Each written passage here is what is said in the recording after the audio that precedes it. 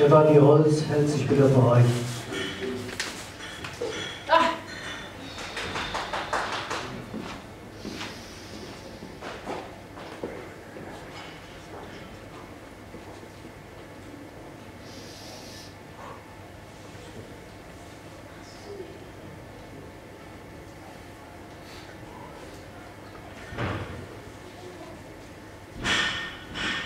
eng